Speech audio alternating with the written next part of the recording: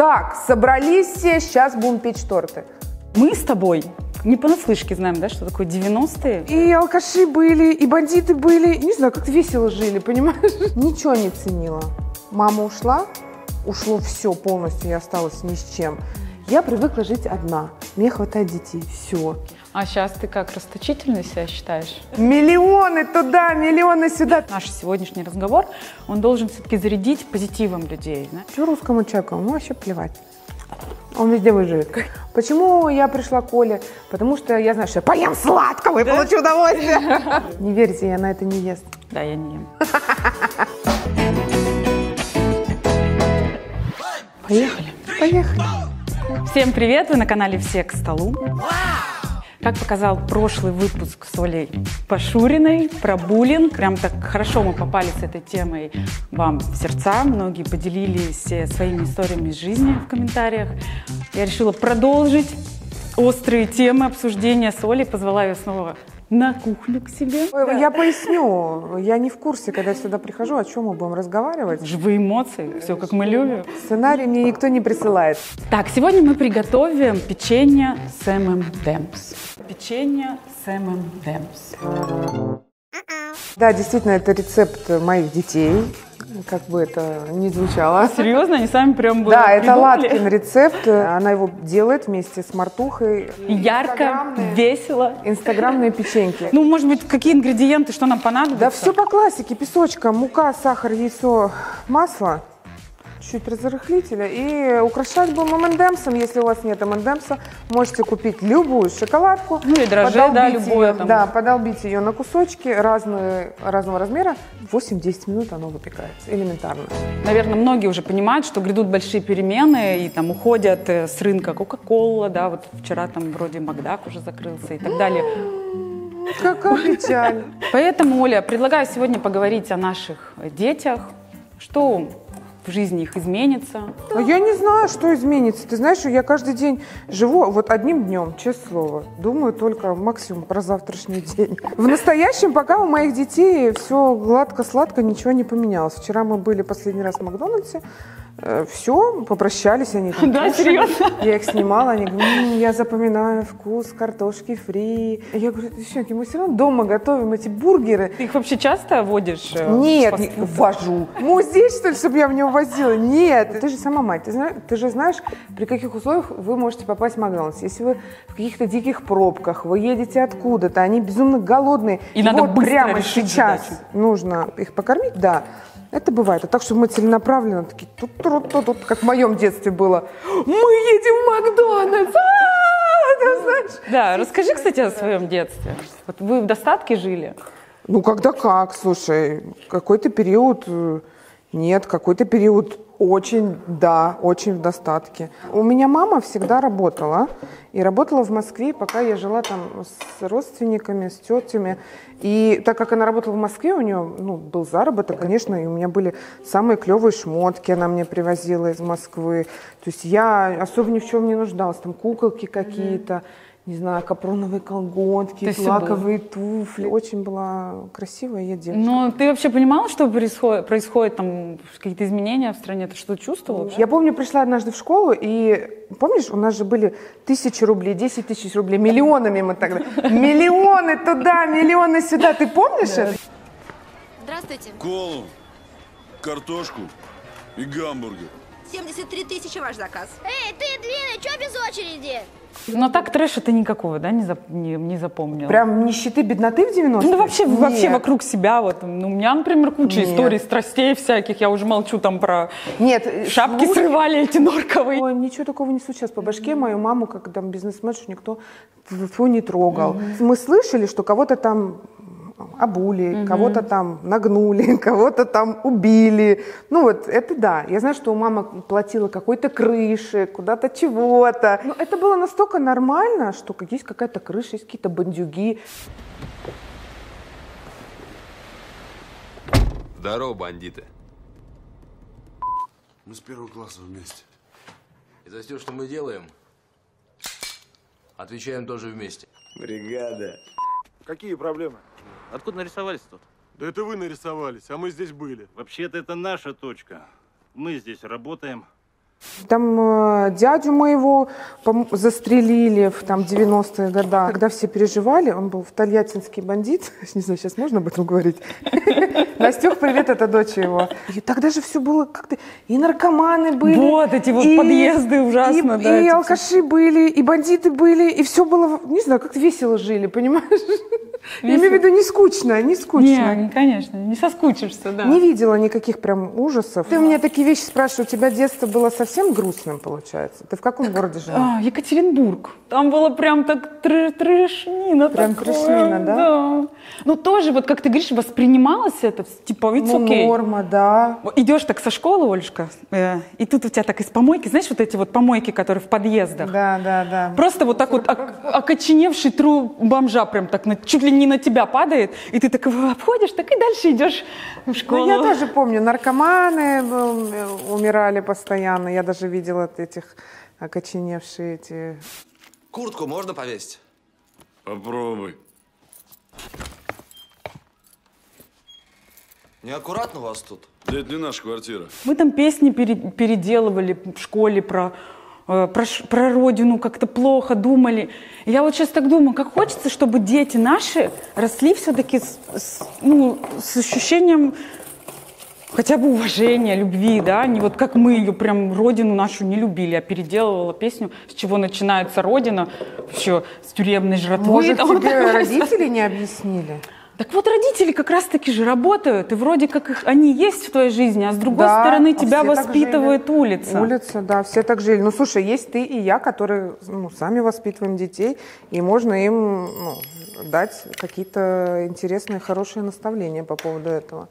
Сейчас же чуть-чуть по-другому. Все равно мы так или иначе здесь рядом. Раньше и мамы работали в других Мгм, да. городах. Вот когда мама у тебя в и Москве, И в получается. командировках, да, были, и все. А И ночные здесь. смены там. Да, помнишь, мне мама рассказывала, что были сады, пятидневки Да, или да, шестидневки, интернаты как такие. интернаты. Моя мама в интернате жила, ну вот в свое детство. И я вообще не понимаю, как можно ребенка в понедельник отвезти, там в субботу забрать. Сейчас люди продвинуты, сейчас люди все стараются внутри семьи э, как-то работать над собой, развиваться. И мне кажется, за детьми ухаживать. Либо я что-то не знаю. Да, у кого-то, может быть, также остаются эти ночные смены, и также они там своих детей Ну отдают да, бабушкам. ну и- да. Тогда у меня а, следующий посыл. Подойдите к ребенку, спросите, как у него дела. Может быть, у него не все хорошо в школе, может, не все хорошо с друзьями. Ну, как раз в недельку хотя бы найдите время, спросите, как у него дела. Мне сейчас что-то грустно стало за всех А дети? детей. Ужасно.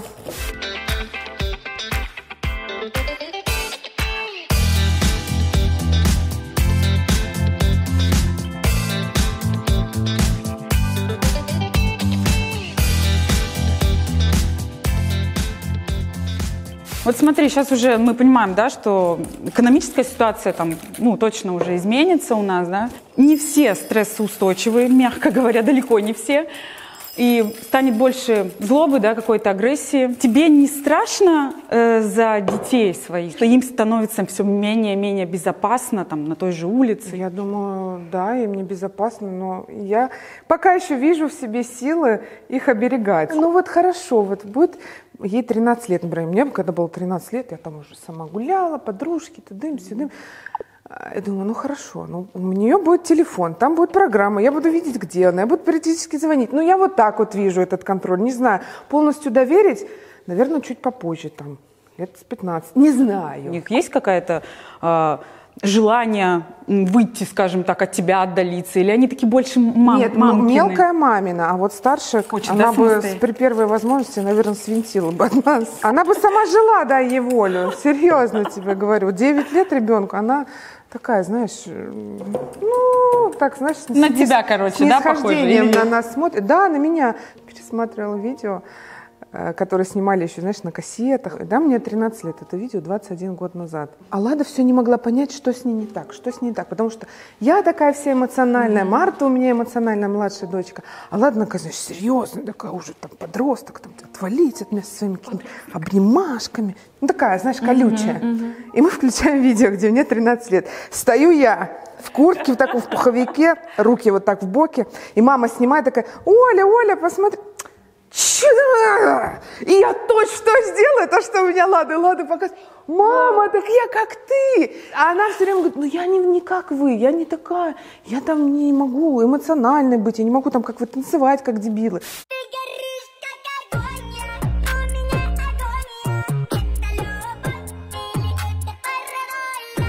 Что ты, кстати, слушала в детстве? Какую музыку любила? Все связанное с басами, с гитарой, с барабанами. Ну, альтернативу слушала, Русский как рок. и все. И русский рок, но больше заграничный, потому что я такая англоязычная девушка. Linkin Park, Red Hot Chili Peppers, Korn, Metallica, Nirvana. И, соответственно, твой образ тоже был такой, да? Rock.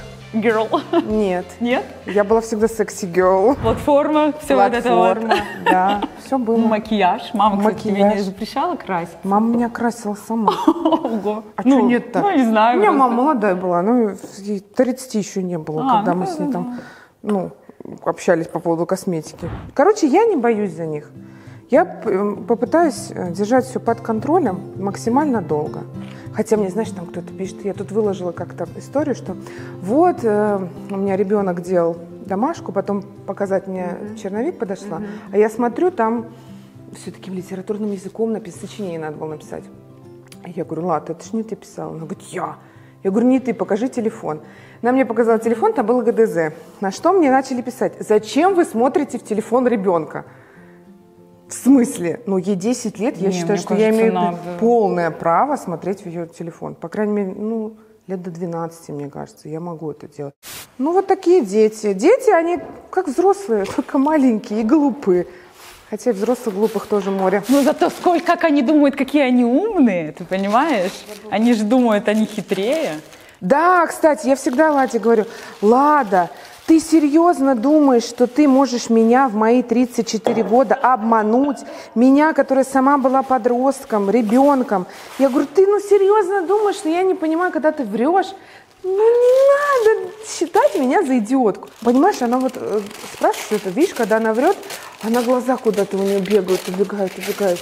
Почему я не вру? Я врать не умею, потому что я тоже, если я начинаю врать, все, у меня, значит, приступы, приступы, я не могу врать. Я лучше скажу Оля, правду. какое классное качество у тебя. Я говорю, если ты не умеешь врать, ну не берись, просто говори, ну получишь ты люлей, но в три раза меньше, а может вообще не получишь. Что-то мы все про Ладу, про Ладу. Так, давай про Марту. Как они вообще ладят, как они находят между собой язык, девочки твои? Одна другую любит безумно, другая относится, Марта любит, я Да. так понимаю. другая относится, знаешь, вот прям вот, «О, Господи, за что ты мне дана?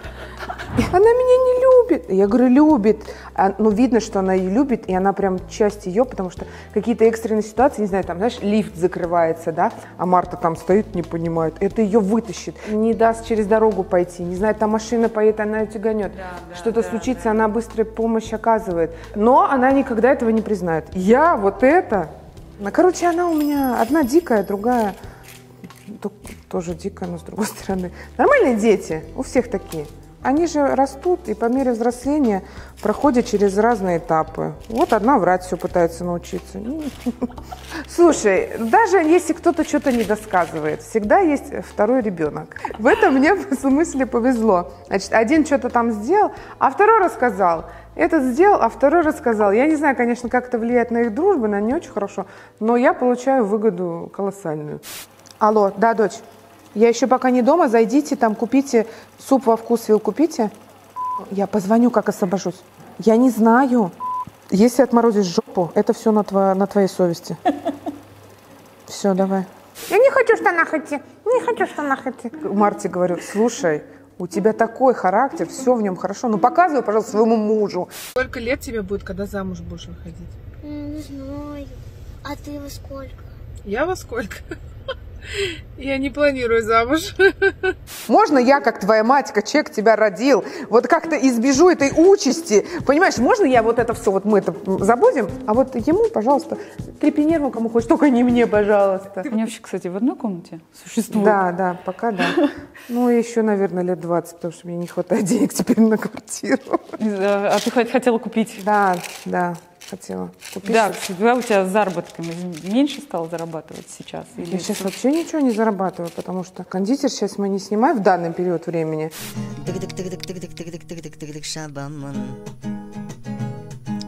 Байдың байдың байдың байдың байдың қызын аламын Байдың байдың байдың қызы тимесе Тағы тігідік тігідік тігідік шабамын А Торты я не пеку, а монетизацию на YouTube отключили.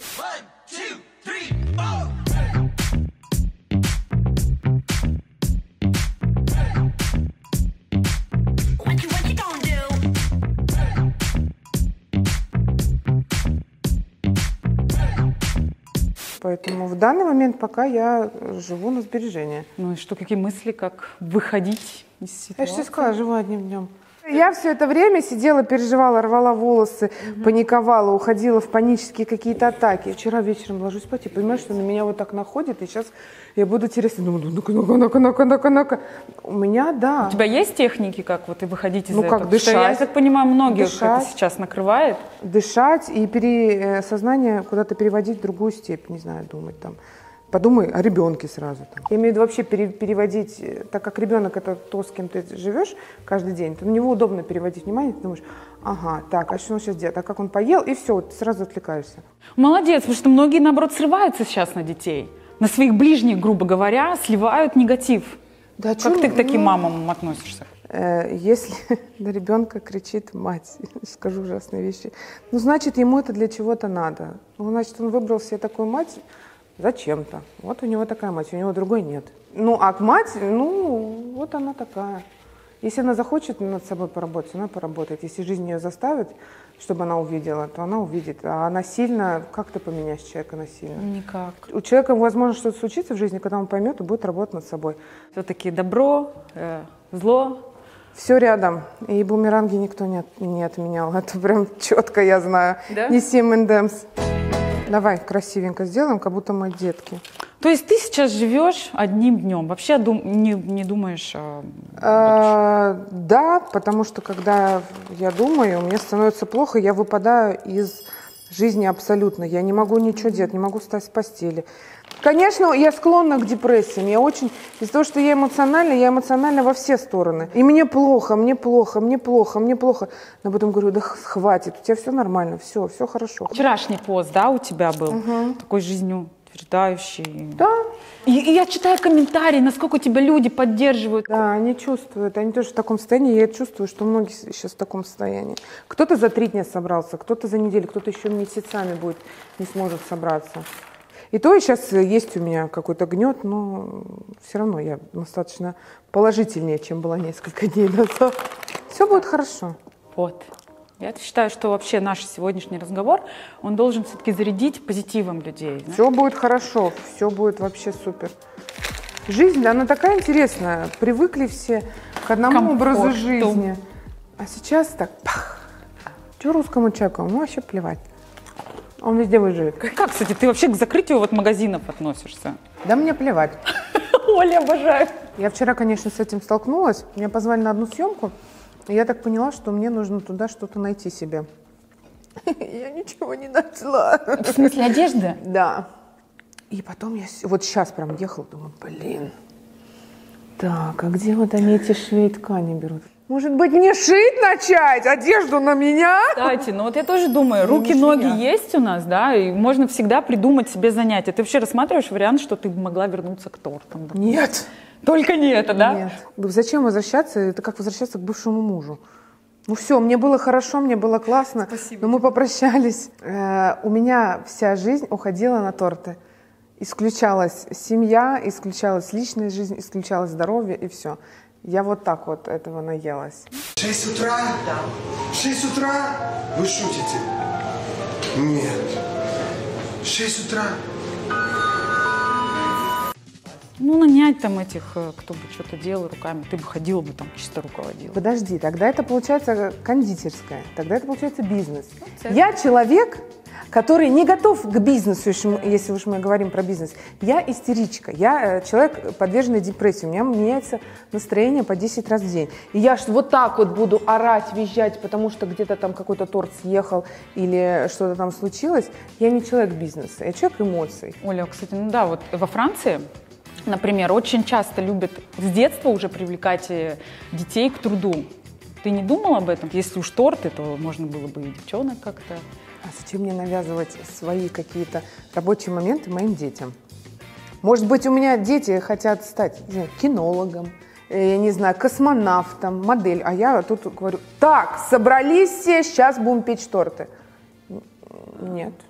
А твои дети уже знают, кем они хотят стать? Моим детям 8 и 10, и они понятия не имеют, кем хотят стать. И я даже не знаю, что будет завтра. Как можно говорить о том, кем ты хочешь стать? Сегодня хочется этим заниматься, занимайся этим, развивайся в этом. Можешь заниматься десятью вещами подряд, если ты тянешь по времени эмоционально и физически. Например, под- поддержишь. Да, поддерживать. И вот с таким э, методом воспитания моя Лада занимается 5 лет акробатикой спортивной и второй год брейкдансом. Потому что я ей никогда не говорила, ты должна медали, завоюем сейчас весь мир, Олимпийские игры. Никогда. Я говорю, хочешь, иди, не хочешь, не иди, я тебя отвезу, я заплачу. Нет такого, ты должна. Я говорю, хорошо, не хочешь ходить, давай доходим март, с апреля не ходим. Наступает апрель, и в итоге все по-старому, да? И есть обратная ситуация, где есть Марта, которая никогда в жизни никуда полноценно не ходила. Хотя тот, тот же прием используют. Хочешь ходи, не хочешь не ходи. Они просто разные. Подход один, а дети разные. Кто-то хочет, да, и занимается, и ему хорошо, что его гнета нет вот этого. А кто-то не хочет и не занимается, ему гнет это тоже не нужен. Она вырастет, не знаю, может лет в 15 э, улетит, не знаю, в Японию, будет там моделью работать. Хрен его, э, нахрен ей будет этот, знаешь, там кружок какой-нибудь, в который она сейчас ходит. Вот правильно и неправильно, мне вообще пофигу. Я так живу, мне так нравится, им так нравится, им так У комфортно. тебя еще хорошо советчиков, наверное, да? Мало кто там твоей жи- Богу. жизнью может. Слава Богу. Кому что не нравится, собирать детей воспитывать. Ну, когда папа звонит, что-нибудь говорит, типа, вот, что-то там не так, что-то там. Ну, конечно, бывает. Я говорю, короче, они живут со мной, я их воспитываю. Они 24 часа со мной, я 24 часа несу за них ответственность. И я имею право какие-то решения э, делать. Например, у нас стоит родительский контроль. С 7 утра до 9 вечера Лада может пользоваться телефоном. Позже нет. Это вполне нормальная тема, чтобы она в, в ночью не шарудила там. Мне начинают предъявлять, почему я не могу ребенку дозвониться. Я говорю, хорошо, звони до 9 часов, вот тебе, пожалуйста, пространство временное, сколько хочешь, обзвонись. Ты ограничиваешь меня Вообще, вообще не с детьми. Я говорю, короче, вон дети, забирай. Ну, Никому никому, не нужны, вот, хотела только сказать, мне никому. нужны, понимаешь? Со своими советами идите в жопу. Нет, мне понадобится совет, я позвоню, я спрошу. Помогите, не знаю, почитаю, по- соцопрос проведу. Вот как собаку, да, опять же, заводить собаку или нет. Я написала пост, я написала опрос. Я же хотела тебе кучу сказать, да. Всех людей, которых знаешь, Что ты в итоге решила-то? Самое в интересное. сентябре, вот в сентябре, если вот прям мы найдем то, что Лада хочет, там черненькую собачку с какими-то там глазками, вот это, вот это, все, мы берем. Если нет, мы все равно берем. Да, все. Да, Потому что ты должна понимать, да, что Да. это будет все-таки больше Да. на, на тебе. Да нет. Сказала Я так же нет. сказала нет. Да нет. Мне Вот ребенок спорим? клятвы- Давай, короче. Нет, я не буду Мы спорить. через- Зная твой характер, ты действительно можешь это сделать. Но, знаешь, что самое интересное? Ты потом любишь эту собаку. Да я люблю, поэтому я хочу себе свою, а ей ее. И Марта говорит, мне тоже, я говорю, давайте три собаки заведем, у каждого будет по собаке, чтобы не жаловались. Вообще, как все началось? Ладно, захотела собаку. Я подумала, ага, я буду любить эту собаку, это вдруг собака тоже будет любить меня, а тут Лада, она заревнует. Думаю, так, нужна мне собака. Так, а тут мне собака, еще Марте собака. Три женщины, три собаки, думаю, нам нужен дом. Я начала смотреть дом. Все, и вот так я захотела дом, но не успела. Даже в ипотеку его взять. Кстати, если кто-то дом продает, А где ты ищешь? Да, давай, может. Подмосковье. То есть город тебя не манит. Нет, я, мне кажется, я старею. Меня бесят пробки, люди. Люди, да? Всех много, все ходят, а машины не припаркуешься никогда. Так бы я приезжала, там березка стоит, там птички чирикают. И я такая, о, какой кайф! Кстати, да, у тебя девчонки вообще как к труду относятся по дому, по хозяйству? Ты Никак. их Они приучил? отвратительные в этом. В этом они отвратительные.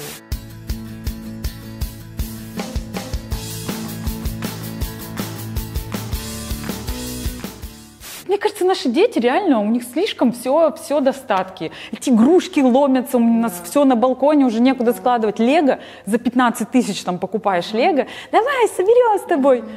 Мне надоело. Вот потому что весь мир у них больше в телефоне, все эти игрушки, это изобилие. Поэтому, когда мы сейчас говорим, бедные наши дети, что они чего-то там будут недополучать, и думаешь, так может быть это даже и хорошо, что они будут чего-то Это мы недополучать. увидим, это мы увидим. У меня нет такого, хорошо или плохо. Оно уже будет, и надо просто это принять. Все равно же ее не создашь, искусственную экономию, допустим. Вот как бы как создать искусственно ежовые там вот эти рукавицы детям? Ну, не знаю, все равно есть деньги, Ну, хочется купить ну что-то. Да, ну да, обидно получается, если там ребенок знает, что у тебя есть деньги, Да, а а ты ты ему ничего не ему- покупаешь.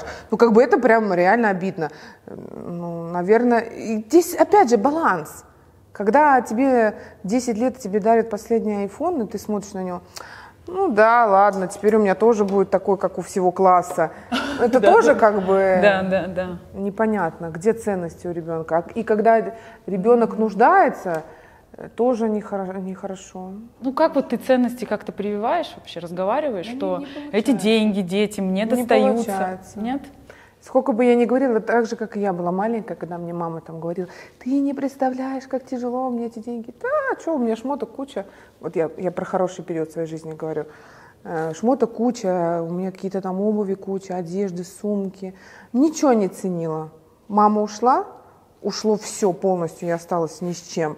В глубокой, не то что нищете, у меня, ну как, я ребенок, у меня вообще ничего не было, какие-то родственники там помогали деньгами, еще что. Я поняла, что у меня не осталось ни вещей, ничего, ни капельки былой жизни, ничего не осталось. И тогда, когда я уже пошла на какие-то там работы, когда я уже там начала денежку зарабатывать, очень тяжело. Ну как тяжело? Я стояла там кока-колу продавала, но я понимала, что я получу какие-то самые копейки. В месяц там 7 тысяч. И еще плюс у нас была очень интерес- интересная организация. Штрафовали. Ты вроде 7 тысяч должен получить, а получаешь 4. Ну, тебе там штрафов каких-то напихали. И ты понимаешь, блин, я столько работал, я столько работал, мог гулять, тусоваться, а я работал. И ты уже как-то начинаешь, ага, а что купить? А что купить? А что купить? Там салатик какой-то, я не знаю, хлебушек с майонезом, либо там банку пива.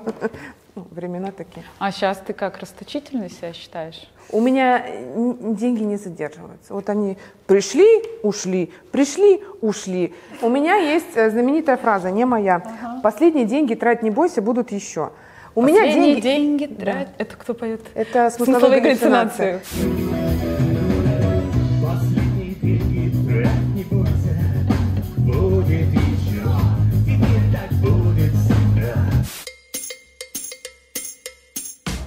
Ой, какая красота. Вот Оля, это... слушай, они прям треснули, они Да, внутри. они трескаются красивенько. Что может быть проще, да? Проще и вкуснее. Да. У меня дети Адски съедают вкусно. это еще горячим. Представляешь, когда э, обжигается язык, вы- руки, пальцы, и они вот это все едят. Ну, они вообще любят у тебя э, не магазинное, а вот домашнюю выпечку? На магазинную выпечку. И не, не не берете, да? Где-то они меня застали врасплох, заставили купить маковый рулет. Слушай, им так понравилось. Они говорят, ого, такой вкусный. Я говорю, давайте мы в следующий раз сами испечем. И они вот за милую душу. Что у нас мультиварка есть, печка есть, миксеры любые, какие хочешь. Если ты способен видеть прекрасное, то только потому, что носишь прекрасное внутри себя.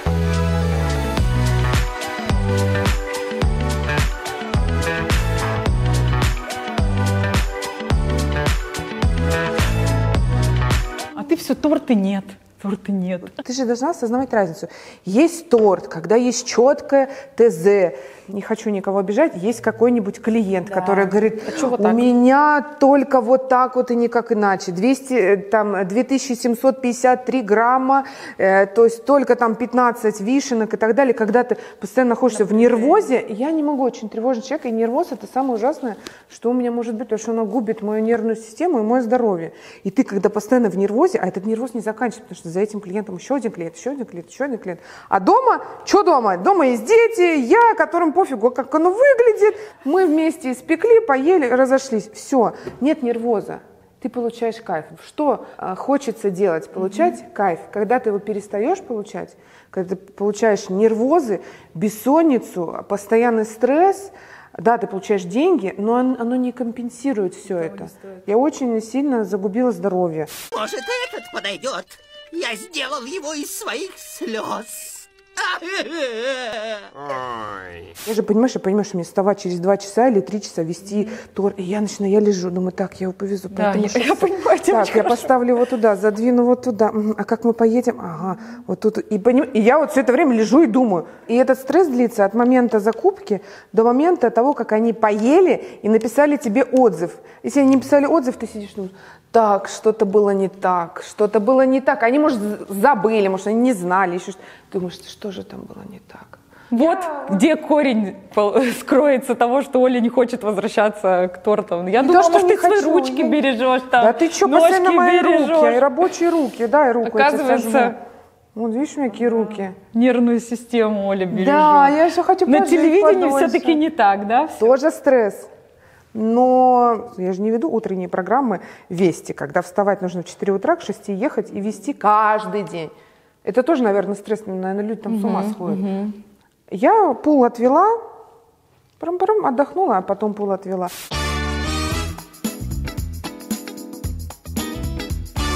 Пам-пам-пам. Прам-пам-пам. Прам. Такая, Оля, я не знаю, но мне что-то в глаз попало, прости, пожалуйста. С ребятами, когда снимаем кикофейк, мы видимся один раз в неделю.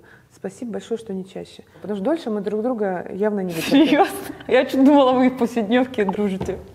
Как-то общаетесь. Посмотри, какие мы разные, яркие, каждый со своим характером, каждый со своей короной. И когда мы начинаем уже как-то дольше находиться, у нас начинаются ну, конфликты, проблемы.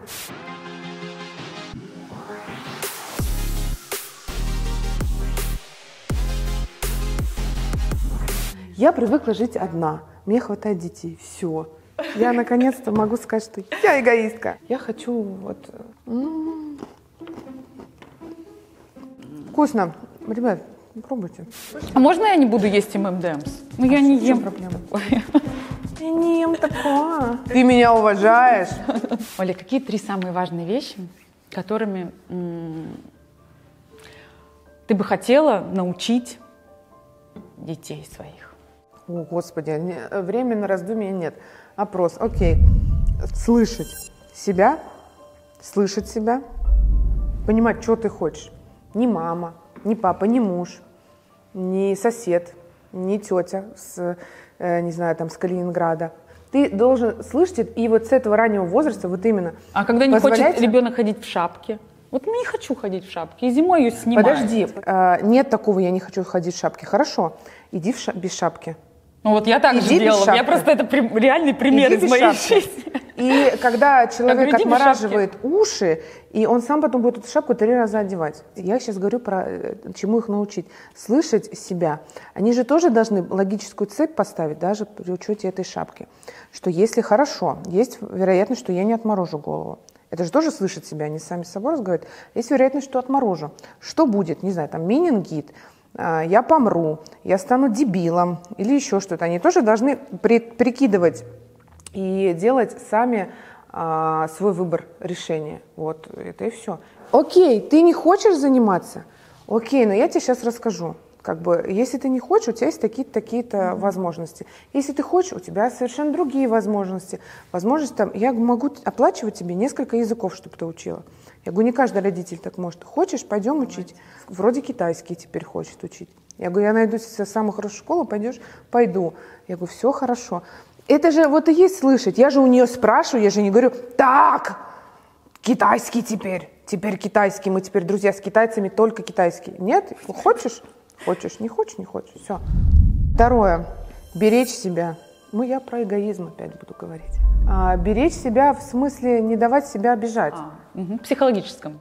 Во всяком, и в моральном, и в физическом. Потому что меня этому с детства не научили. Меня, во-первых, не научили, нет, не претензии, это просто никто не знал этого. Естественно, меня не научили себя слышать. Возможно, от этого у меня есть какие-то проблемы с лишним весом и так далее. Я не знаю, как распознать, например, чувство голода, и любую стрессовую ситуацию воспринимаю как за чувство голода. Да? Мне не, не говорили, что вот не показывали, как насилие есть какое, что не только тебя, когда по башке дают сапогом, а насилие еще моральное. И я этого не знала, и не понимала, что от морального насилия тоже надо себя защищать. А у нас моральное насилие вообще повсюду. Короче, это очень тяжело все лечится и долго, я все это знаю. Третье, ну, не знаю, радоваться жизни. Делай то, что в кайф. Мы не говорим кайф наркоманский, мы не говорим кайф там алкоголический, еще какой-то. Кайф это вот ты получаешь удовольствие. Вот я сейчас почему не пеку торты? Потому что перестала получать удовольствие. Мой осознанный выбор. Почему я пришла к Оле? Потому что я знаю, что я поем сладкого и получу удовольствие. Когда со мной знакомятся там молодые люди, говорят, ой, а завтра опять на лю- нелюбимую работу. Смени ее. Я здесь при чем? Почему ты мне ноешь? Что, что ты от меня хочешь? Да, вообще, как ты к нытикам относишься? к этому Плохо. личному? Я позволяю поныть в себя какое-то время, не знаю, отведенное. Делаю пару предупреждений, потом говорю, что пока нытье не закончится, мы общаться не будем. Я могу тоже поныть. Хорошо, мы можем обменяться нытьем. И иногда действительно человеку надо поныть. Я себе тоже выделяю этот период по- поныть, потом сама себя беру в руки. Ну просто присаживаться на уши, мне даже как-то стыдно. Ну там, представляешь, я буду сейчас тебе говорить, слушай, блин, Оля, я- Даже не могу я представить. я тебе только дом хотела купить. Два дня не успела, два дня, представляешь, погорюй со мной вместе. А сейчас он уже на 8 миллионов дороже, этот дом. А ты Представляешь, вообще сейчас, какая кстати, печаль у ужас, меня. 8 миллионов, так много. На треть. Ты, кстати, вообще ждешь какой-то поддержки сейчас? Я не жду, но мне хотелось бы, чтобы ее дали, потому что помимо меня еще есть много других людей, нуждающихся. Что с Я 1 думаю, будет. апреля, Я, да, я будет думаю, какая-то я поддержка уверена, что малым поддержка будет, имущим? потому что в такие Раз. трудные времена а, наш президент это именно тот человек, который может сделать вот эти решения. Пандемию выплачивали по 10 тысяч, я знаю. Слушай, мне в пандемию Владимир Владимирович вер- вернул все мои налоги, которые я заплатила, пока была самозанята. Да ладно. Поэтому я знаю, что он все сделает и все сделает красиво. Я прям Красиво. уверена. Вот на этой оптимистической ноте мы возьмем по печенюшке. Не верьте, я на это не ест. Да, я не ем. Ну, это наша следующая тема. Ну что, я желаю действительно сохранять спокойствие, настроиться на позитивные, что все будет хорошо, собственно, довериться потоку, вселенной и, в общем, этой жизни, потому что она вас не бросит, эта жизнь. Пока ты жив, значит, тебя все хорошо. Я всегда успокаиваю, это ужасное сравнение. У меня есть много подружек, и все они разного э, дохода, люди разного семейного положения, и все в разных жизненных ситуациях. И когда мне одна жалуется на что-нибудь подружка, я говорю, ну посмотри, ну вот это это намного хуже. Она сразу успокаивается. Короче, когда вам плохо, знаете, что кому-то еще хуже. Это ужасно, но это многих успокаивает. Правда жизни, да. Пишите комментарии, ждите следующей встречи с нами. Пока-пока. Пока.